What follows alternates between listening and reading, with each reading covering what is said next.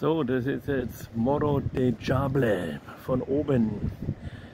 Hotel Villa del Mar. Top mit Fitnessraum, mit Jacuzzi, mit Blick aufs Meer. Also alles, alles perfekt hier. Da ist das kleine Dorf Moro, der Marktplatz da hinten, die Tabakkneipen. Laila, das Spezialfischrestaurant. Und ja, die Anlage ist einfach nur schön hier. Jacuzzi, riesige Zimmer hier, alles bestens. Schöner Fitnessraum.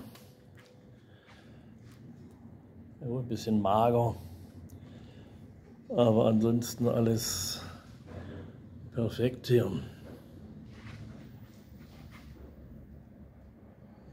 Und riesige Zimmer. Also Wohnzimmer, Schlafzimmer, Bad, äh, sehr, sehr groß alles.